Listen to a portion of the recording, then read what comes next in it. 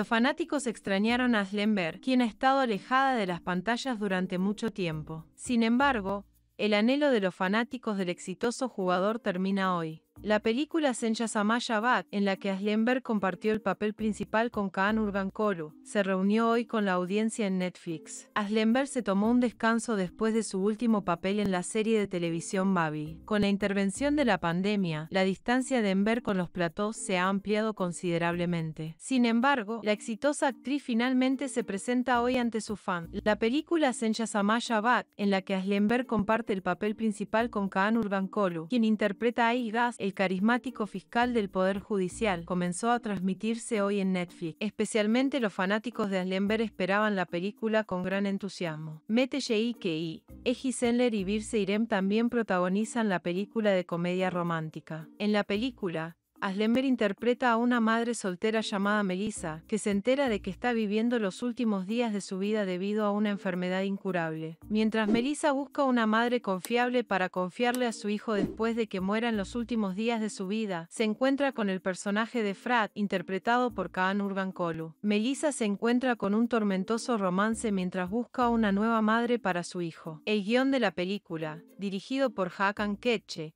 quien recibió grandes elogios con la película Muslim, pertenece a Hakan Bonoma. La película, que contará una triste historia en un lenguaje sumamente entretenido, aparentemente hará reír y llorar al público. Nuestro vídeo termina aquí. Gracias por ver. No olvides suscribirte al canal para ser notificado de los vídeos más rápido.